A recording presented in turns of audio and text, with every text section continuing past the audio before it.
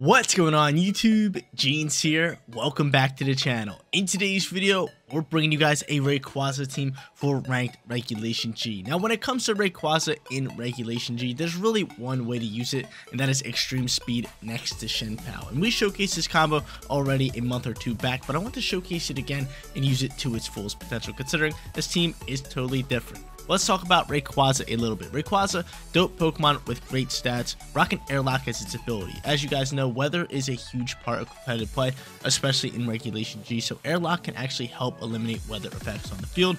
So Rayquaza going to be a great Pokemon up against weather teams. Clear Amulet for its item with that normal Tera type, and then we got Dragon Ascent, Extreme Speed, Swords Dance go plus 2 on attack, and Protect. Pairing up with Rayquaza, obviously, is going to be Chien-Pao. You got Swords of Ruin to help drop defense of all Pokemon on the field, allowing Rayquaza's E-Speed to do insane amount of damage. Chien-Pao also has Focus Sash with that Stellar Tera type. I've been seeing a lot of Stellar Tera type Chien-Paos as recently, and these things hit like a truck. He's got Icicle Crash, Sucker Punch, Sacred Sword, and last but not least, it has Protect. Our other four Pokemon on today's team are pretty meta standard Pokemon. You got the Choice Specs Flutter Mane for big time stab, special attacking damage, and then you got Rillaboom, Incineroar, and Araquanid. Incineroar great for physical attack drops and fake outs. Rillaboom's great for fake outs, terrain control, and Araquanid's a great wide guard user that thrives out in Trick Room. So if we're going up against any Trick Room team, we're gonna be bringing our boy Araquanid. It could thrive out. Guys, you want to run this team for yourself? Rental code is at the top right hand corner. And if you do enjoy today's video, make sure you leave a like on it and subscribe to the channel. But without further ado, let's hop into our first match showcasing this Rayquaza team. This is kind of weird, but we're going up against Dipplin here in match number one. I haven't seen Dipplin used in quite some time. Super dope Pokemon. It's legit just a candy apple. It's just an apple dipped inside like melted candy. Really cool Pokemon. I actually really like its design. But furthermore, they got Groudon. Groudon is a weather control Pokemon. We might have to go into our Airlock Rayquaza. They also have Sandy Shocks. They're rocking out with uh, Flutter Mane, Incineroar, and Urshifu. Okay, who should we honestly lead here? I mean, I could just lead Incineroar. They do have a few physical attackers. And I could go into like my clear Amulet Rayquaza, and that could be pretty good. Just go into that and that, and then bring Chien-Pao in the back end, and last but not least, Flutter Mane. Choice Spec Flutter Mane could be good, considering it should outspeed almost all these Pokemon, especially if they're going to give it the photosynthesis boost, so I do like Flutter Mane here. That's going to be the squad. That is going to be the squad. So depending on who they lead, I might just want to fake out and set up a Swords Dance and kind of get going from there, right? And then swap in Chien-Pao, because once you get the Swords Dance set up, this Rayquaza is hitting like a truck. But I'm not going to lie, I'm actually kind of annoyed right now. There's one giant fly. I mean, it's not giant, but it's a big size to be a fly. Flying around my room, and I see it just like passing my camera and stuff, and starting to annoy me. So if you see me doing this, like grabbing at something, it's me trying to catch a fly. It's been in my room for like 10 minutes now. I should just open the door and let it leave, and it just flew past me. You guys might see it. I actually hope you guys see it on camera. It kind of be funny. It'll probably just like land on my face, like, Mwah, and I'll be like, oh, dude, I'll have to smack myself in the face to kill it, but I, I don't know. We'll, we'll figure it out when the time comes, but just know that there's a fly flying around. Actually, just flew past the camera. I can't wait. Once I finish recording, the fly swatter's coming out. This thing is going to get it. It's going to get it. But we end up going Incineroar and um and Rayquaza. Incineroar and Flutter Mane, and their Incineroar is actually faster than mine. Their Incineroar a tad bit faster than mine. I think we just protect my Rayquaza, and we kind of just maybe swap. What's that play here? I could go for a knockoff. Not a bad play for us. We're just protect protect Rayquaza this turn. I'm gonna protect. Um, I am just gonna go for a knockoff instead of a fake out because if I had to guess, Incineroar most likely faking out my Rayquaza slot because he is faster, and I can't really fake out the Flutter Mane. So I'm just gonna attack the Flutter Mane, right? Definitely my best interest to just use knockoff on that. So I protect my Rayquaza. We'll see what he wants to do from here. He's gonna go for the fake out into the Incineroar slot. Wow, into the Incineroar slot and just throw a Dazzling Gleam. Okay, so I could normal Tera here, and I could bring out what's it called? I could normal Tera and bring out Chien-Pao if I want to. I think I might just normal Tera and Dragon Ascent and lower my defensive stats. I think I'm cool with that. I think I am cool with that and then fake out the, the Flutter Mane. I'm cool with that. I am cool with that. We're not fake out, knock off the Flutter Mane. Just double down into it just in case it's sashed. Right? And if it's not sashed, then the knockoff's going to slide over onto Incineroar and knock off probably whatever berry it's holding, the citrus berry most likely. So I end up going into our lovely little Tera type. What am I Incineroar's doing here? Incineroar's kind of scaring me tad bit here too. He's gonna just gonna rip another Dazzling Gleam. I soak pretty well. Dragon Ascent and a Flyer. And honestly, mm, this could be tough. This could be tough. You are Sash, this is why we double down. But now with my defense dropped, if Incineroar's attacking with like Flare Blitz, that could get ugly. But I doubt you're attacking Rayquaza with Flare Blitz, right? Maybe a knockoff? We're gonna go for a knockoff. Can we soak this? We do soak this. That's big time for us. That is big time. So you knock off my clear amulet, no big deal. Knock off is now going to finish off you. And next turn is going to be a pretty solid turn for us to just swap Incineroar into Chien-Pao and try to get off some E-speed damage, right? I like it. I'm down for that. Alright, so not bad start for us. We're picking up some damage. Our Rayquaza probably going to die out this turn, but I'll get it. If I get off some E-speed damage here, I think we're sitting in a solid position. Let's see who they go into. They're going to go into Sandy Shock. So the chances are their last Pokemon is going to be Groudon. Now, do we think they swap into Groudon? There is a shot at that. There is a shot at them swapping into Groudon. But from here, E-Speed's going to be my play right into that slot. And we are just going to hard swap into Chien-Pao here. And we're going to save our Flutter with Photosynthesis, Choice Spec, all that good stuff. They end up with withdrawing their Incineroar. They're going to go Photosynthesis Pop for them. On top of that, we're going to swap our into Chien-Pao. Oh, you don't have Groudon. Wow. That's surprising, right? That is super surprising. No Groudon here. I mean, you had full weather control. That was like your your, your kind of like play style there. I thought you would go into that. But now we're able to E-speed with Chien-Pao. Can we take out the Sandy Shocks? We do. Critical hit. Awesome. I'm not sure if we were KOing without it, but I'll take it all day. I love a little RNG on my side every once in a while. It's a big time KO for us. We'll take that. We'll take that. They pick up a nice KO. He is going to be able to intimidate both my Pokemon now, and I might just swap into my Incineroar here, correct? Actually, I should protect first. I should honestly double protect. Actually, let's just E-Speed. Who are you going to fake out? You might double down into. I don't even know, but we are going to intimidate him and swap our Chien-Pao out. Yeah, it's going to be play. I'd rather E-Speed you. So, you know what? I'm going to do that and then just hard swap into my Incineroar. Get a nice little Intimidate. Save my Focus Sash and bring my Chien-Pao stats back to normal.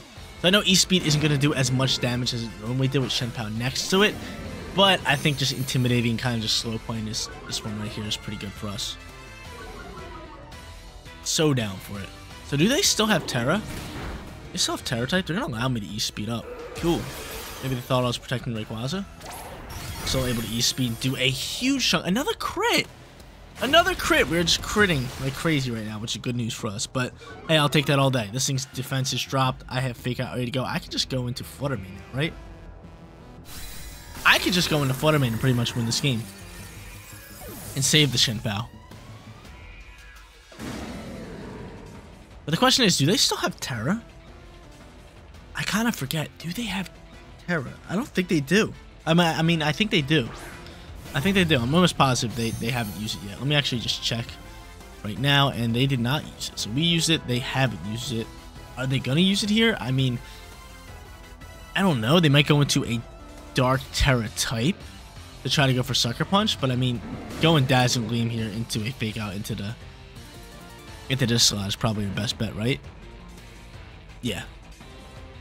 Up detecting. I was going to Fake Out the Incineroar reading, reading a Detect, but... It's no big deal. Fake Out's just to get blocked. Incineroar, what are you going for? Maybe a Flare Blitz, maybe a knockoff, but I mean, Choice Spec Dazzle Gleam should be able to chunk up some nice damage. We love this damage. We still have Chien-Pao in the back end. We can take a sword some stuff. And Incineroar actually soaks rather well. He's to knock off the Choice Specs. The Choice Specs ends up getting knocked off. I think we just go for Dazzling Gleam. And then on top of that, we go for a Flare Blitz and we double down into this uh, Urshifu slot. Urshifu. So we still have Focus Sash, which is good news on our Chien-Pao. We still have that Pokemon in the back end. He ends up just staying in here without terastallizing, and we get rid of the Urshifu. That's massive. Bye-bye, Urshifu. And we get another crit. I mean, we were KOing regardless, but still, another crit is kind of funny because our RNG on crits going crazy right now. Knockoff's going to fly. We're able to soak, and we might die out. Oh, you get a crit now. But we might die out to this, uh, this Flare Blitz recoil damage, depending on how much damage this Flare Blitz really does. Yeah, I think we die out to recoil here. You dead, Incineroar? I think you survived. Did you survive on like five? Yeah.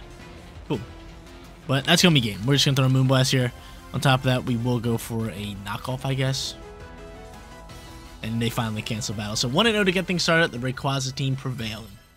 Moving on to our second match, and we versed Groudon in match number one, so it's only fair that we verse Kyogre in match number two. Going up against a top tier Kyogre team with Tornadus, with Landorus in its incarnate form. They also have Farigiraf, top tier Pokemon, and then Archaludon and Rillaboom. Okay, so obviously they're just going to go into their weather Pokemon. I could see them leading Tornadus and Kyogre, which would be okay for us to just lead like Rayquaza and Chien-Pao.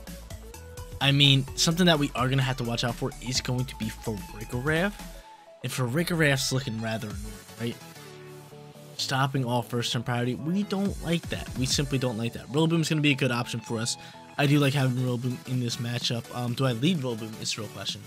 I think I just lead like Chien-Pao and Rayquaza. I think we just do that. And yeah, you know what? I'm gonna do that. I'm gonna go into Chien-Pao and Rayquaza. Um, I could go into my water bubble Pokemon. Water bubble. Hmm. I could just lead him. I could honestly just lead him. I could go Flutter Mane and Araquanid. And then bring Chien-Pao Rayquaza in the back end. Hmm. That sounds nice, but I kind of want Rillaboom here. I think we're actually fine with this lead.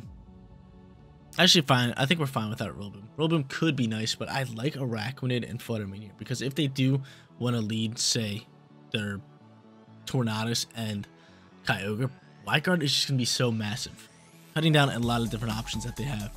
So I like this. I like this little Guard Pokemon. So we might want to save Araquanid if they don't lead that, but I guess we'll, we'll play it by ear, right?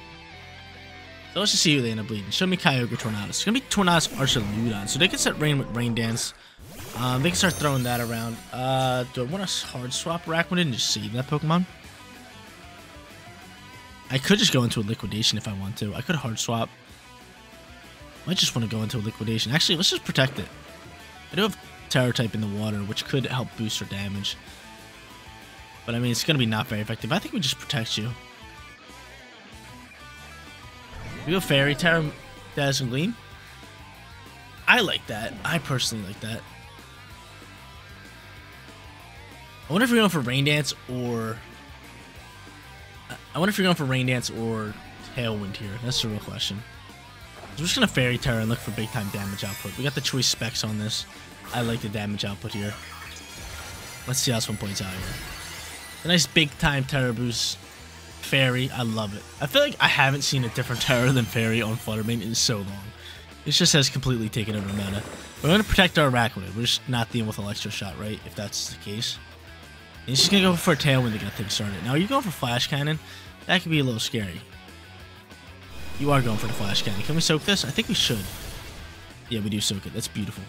It's a big time soak. Dazzle Gleam's able to cook. How much damage are we doing with this? Not bad. That's not bad damage. Now, I could wide guard here. I wonder if you're going for Rain Dance or Electro Shot. I'm thinking of just wide guard here. Because if I had to guess, you're probably going to go for Bleak Wind Storm to finish off my Flutter Mane. And then go for like an Electro Shot into a Araquanid. If I had to guess, that's my guess. So I'm just going to go for the Wide Guard. And then I'm just going to go for Dazzle Gleam. So I'm going to hope that my calculations, my predictions are kind of right here. We'll see. Yep, there's Bleak Wind Storm. Come on, man. Now show me. Are you still staying with uh, Electro Shot here? I wonder. Or not. Or I think you might. Hopefully go after Araquanid. No, you go after Flutter Mane. That Wide Guard was so good, too. That Wide Guard was so good. So he ends up doubling down, staying after me. Um, I could go for another Wide Guard if I want to. He could go for a Rain Dance this turn. That's what I think he does. I think, in all honesty, we just go into... Oh, man. Archaludon's going to be a pain. Archaludon's a pain. But you know, we're going to go into Chien-Pao here. We are going to go into Chien-Pao. We are going to go into uh, a liquidation into that Archaludon slot. Because if I had the guess, if I had the guess, you're probably going for Rain Dance with Tornadus. And then looking to attack me. You might go for another, uh, what's it called? You might go for another Wind Storm, but I doubt it after seeing that wide guard. So I'm just to double down to Archaludon here. Yep, there's the Rain Dance. Alright, so he pops the Rain Dance. He to go for Electro Shot probably into my Araquanid. Hopefully one of you guys can KO him. I really need this thing off the field because I feel like my Rayquaza and my Chien-Pao can really get work done here. So I'm really hoping we can just KO this thing. He's going to take out my Araquanid. The Araquanid's dead. He stands no chance. Can you take him out, Chien-Pao? Super effective, not stab. I don't think you can take him out, in all honesty. Let's see. You do take him out. I love you, Chien-Pao. That's big time damage. That's big time damage. All right, so we get rid of Archaludon finally. They got Rain Dance out and about. Um, we have Rayquaza here. We don't have Tera type. And I feel as here now they want to just rip Bleak Storms, like Water Spouts, all that. So honestly, probably should have swapped into Rayquaza. Ate up the Electro Shot and then have my Araquanid back in because Wide Guard was just so massive. Especially with Kyogre. But I mean, we have first turn priority all day. So as long as they didn't bring Farigiraf. If they didn't bring Farigiraf, I really like where we're sitting and they brought Farigiraf. and they brought Farigiraf. How dare you bring Farigiraf? So now I have to get rid of Farigiraf. Farigiraf has got to go. I mean, they can go for Bleak Wind Storms. I'm not too, really too worried about speed drops. Um, I think I just drag Dragon Ascent and at the same time just double down into this Farigiraf slot. I think we have to get rid of Farigiraf if we want a shot at winning this game. So I'm just going to double down to Farigiraf at this point. And Tornadus, if you want to go for a Bleak Wind Storm, you can go for a Bleak Wind Storm. So I'm thinking we could double down. We can just get rid of Farigiraf. And then maybe just start E-speeding Sucker Punching around. Probably in our best interest. There's some nice speed drops. Of course you get the speed drops. And Dragon Ascent, how much damage are you doing? Kind of need you like almost KO in here. Nice damage. Chien-Pao, can you still outspeed? That's really what I need. I need Chien-Pao to still outspeed and just finish off Farigiraf. You do outspeed, but you miss an Icicle Crash. Just what I wanted. Just ruined everything. Now you pop a Trick Room, which kind of helps us. Does that kind of help us? I mean, it could. It could help us. I'm going to go here with that. And I'm going to stick with my Icicle Crash because I know Sacred Sword... Actually, Sacred Sword should KO. Is Chien-Pao slower than these guys now? I'm curious to find out. Farigiraf's just going to protect. It's a smart play. Keep Farigiraf on the field. Real smart play for him. But yeah, if that Icicle Crash lands there, I love where we're sitting. If Icicle Crash landed there, we actually have a hot shot at winning this match. And kind of, I'm kind of annoyed that we missed it. Because if you think about it, if you think about it, Farigiraf dies out that last turn. Trick doesn't go up. Trick didn't really matter. But then we could just Sucker Punch and E-Speed the Kyogre and Tornadus. Tornadus wouldn't survive one of them. Kyogre might survive the other. But then we would just to been able to soak up like a Origin Pulse or a Water Spout. And if they're going for Water Spout, they're really not doing that much damage because we're already getting off first turn priority shots. So honestly, this Farigiraf dodging that, that what's it called? That Icicle Crash, kind of won him the game. It would have been really close. I honestly don't know who would have won, but now that's definitely going to be game. I mean, I can go into a Dragon Ascent, but chances are this Kyogre is pretty slow. But yeah, I'm just going to run this one. I'm just going to run this one. So GG's to our opponent. Nice miss attack from us. We go 1 and one. So guys, tough loss in that last match. I really wish that one would have played out, but I think I'm done using moves that are not 100% accurate. I really am. I feel like I miss so many of them if they're not 100 accuracy. It kind of getting on my nerves at this point, but we're going up against Koraidon team in match number three, looking for a winning record with this Rayquaza squad. Furthermore, they got Chi-Yu, they got Raging Bolt, they got Walking Wake, they got Fluttermane, and last but not least, they have Tornadus. So their team fully thrives out in the sun. This is where I wish I had like a rain setter. Their team fully thrives out in the sun. So it seems like they're going to lead either Tornadus or Koraidon. Now, I could just go into my Bleak Wind, or not my Bleak Wind Storm, my uh, Chien-Pao Rayquaza, which honestly isn't a bad lead. E-speeds go crazy. They do big time damage.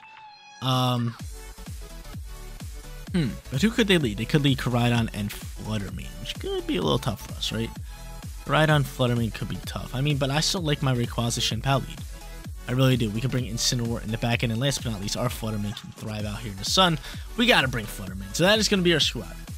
That is going to be the squad. I mean, they could go Tailwind here early on, but again, with our first turn priority, they don't have a Pokemon like Farigiraf or Tsareena over here to stop that. I think we could just do some big time damage. They don't even have an Intimidate user. I mean, we have Clear Amulet anyway, so I think we would have been fine up against Intimidate user with Rayquaza. But we're 1 and 1. Looking to grab ourselves a winning record. Would love a nice little 2 1 winning record with Rayquaza today. Let's just see what they do. I mean, Koraidon, I feel like has to be lead. I feel like they want to set Sun as soon as possible and really start to get after it. Raging Bolt could be a little bit of a problem, so let's see. They go Flutter Mane and Walking Wake. Not bad for us. I mean, I can Sucker Punch it and I could E-Speed. I can do a little bit of both action. Hmm. What is my play? I mean, right now we're pretty fast. Right now we're pretty fast. He's going to Photosynthesis pop with Booster Energy. Probably boost its speed. Yep, and I mean, at that point, we probably most likely just want to go into a Tera E speed into the slot. And just Sucker Punch this slot? Or do I use my Focus Sash? I mean, I can double Sucker Punch here, or I can double down in this slot. But to be honest, I think we just go for like an Icicle Crash in this slot. Nice, lovely Icicle Crash. So, obviously, I think they want to Terastallize, but they're actually not going to. Because I was going to Stellar Tera type and just Sucker Punch this, uh, this Flutter Mane, which I probably should have done and just let Rayquaza do its thing with, like, Dragon Ascent and stuff. But I like this Tera E-Speed. I think damage output is to be big. It might not KO Walk Wake, which it doesn't, but still, I love that damage right there. Icy Wind now flies. They're going to slow us down a little bit, which is no big deal. You can slow me down a little bit. That's fine. I mean, we're going to be spamming first turn priority moves at this point. And Flamethrower is actually going to KO us. Ouch, man. Ouch. I really want to get off that Icicle Crash. I really want that Icicle Crash. I really wanted that. Uh, I could go into you. I think I, we're going to save you. I think we're going to Flutter Mane at this point. He's boosting energy speed. Mm, we might just want to go into you. Yeah, that Icy Wind and Flamethrower taking me out. I wish I could have bought one more turn. If I could have got one turn out of my, uh... I could have got one turn out of what's called... Out of Chien-Pao, that could have been massive. But I think from here, we just want to pop a nice little... I could actually Swords Dance here. That's not a bad turn to Swords Dance. You know what? I'm going to do that. I'm going to Swords Dance. I'm just going to go for a Flare Blitz in this slot because I think Walking Wake is going to protect here. And Flutter Mane honestly has a chance of swapping. Flutter Mane honestly has a chance of swapping. I'm going to actually fake Tears man. You're just going to actually KO me? I could just faked you out and set up the Swords Dance. I could just faked you out and set up the Swords Dance. You didn't protect. You have fake Tears. That's actually wild. Alright, looks like we're going for E-Speeds for now on. After a Swords Dance plus, plus 2 kind of play. So they don't want to Terastallize their of me, which is understandable. Um, hmm.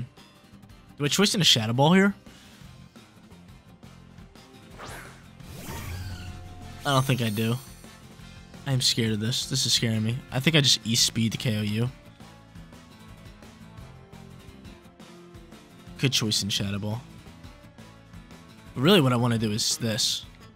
Dragon Ascent, look to KO you. And then just go Dazzling Gleam. Which I'm honestly going to do. Let's see how this one plays out here. I'm scared of Icy Wind. Icy Wind I'm terrified of. But I kind of hope he just protects Walking Wake here. Or even swaps it. That'll be fine. Nope, just go for Icy Wind, man. I keep trying to make a read. It's just not happening for me. So Icy Winds me down. Going for Hydro Steam. Can he soak this Flutter Mane? I really hope he can. You do. That's beautiful. That's beautiful. So now I'm able to Dragon Ascent. Finish off you. You're gone. And I'm able to dash and gleam and finish off Walking Wake. Now they're gonna have some speed here. Raging Bolt could potentially be that Pokemon. And hmm, how do I play this one? They're probably gonna have Tera Fire on their Koraidon. But I feel like this game really comes down to me trying to make reads that just weren't happening. Right? I was trying to make a bunch of reads and they just weren't doing it. Like they weren't protecting, they weren't swapping, they weren't doing anything. But now they're to go into Koraidon here and into Raging Bolt. Yeah, Raging Bolt flies through here. So Raging Bolt, Koraidon. I think we have to E-speed this, uh, this what's it called? I think we have to E-speed here. This Koraidon slot. Because he's probably going to Terastallize. I could honestly Dragon Ascent, but E-speed's going to be tremendous. So I'm going to go E-speed there. I'm going to stick with my Dazzling Gleam. Let's just chunk up some damage. We do get a Photosynthesis boost from Flutter Mane. And honestly, that really helps us out. That really helps us out. But I'm almost positive we're going to see a Tera type from Koraidon come out here. And he ends up just protecting Koraidon. That's tough news. Can he soak up whatever he has to offer? Rayquaza? I need you here, Rayquaza. Honestly, this Dazzling Gleam should do a nice chunk of damage into Raging Bolt. He's going for Thunderclap into Flutter Mane and just KO my Flutter Mane. Oh, man. That's tough. That's real tough. That's real tough. That's a big time protect from him. So he is life orb. We do see that. I am going to go for an E-speed here. I'm plus two on physical attack. This is Tera boosted E-speed. I'm hoping we can just, you know, KO here and then maybe switch to Dragon Ascent and look to win this match. But I don't know if two E-speeds can actually win this match. These guys are bulky Pokemon, especially Raging Bolt. Especially Raging Bolt. But we'll see a Tera pop out here. Probably from Raging Bolt, just for bigger electric damage, right? Yep. What did I say? What I say? What I say? And that pretty much wraps it up, right? He's just looking to go for a Thunderbolt here. Man, that Protect on that Koraidon was actually massive. It was massive. But E-Speed's gonna fly here. How much damage is doing? I think this should KO. It doesn't even KO! We leave him on one. He goes for Collision Course. Thanks for playing. Thanks for playing, Jeans. I wish I, I, I wish I would have just KO'd.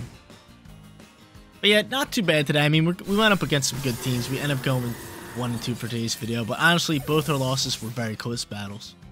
Wish we could have grabbed you guys a winning record for today's video, but honestly, I think we should have won match number two. And in match number three, our opponent just played simple and actually won him the game. I tried making reads, they weren't happening. Our opponent, like I already said, made simple plays, and that just won him the game. It was how Pokemon go sometimes. To be honest, making simple plays will win you the games in a lot of situations. So if you guys are ever struggling, just play a bit more simpler. But guys, that's going to be it for today's video. If you did enjoy the content, don't forget to smash that like button for me. And if you're new here, click that big red subscribe button so you know when all of my videos go live. Seriously, you guys rock out. Make sure you spread positive today, and I'll catch you on the next one. Peace out, everybody.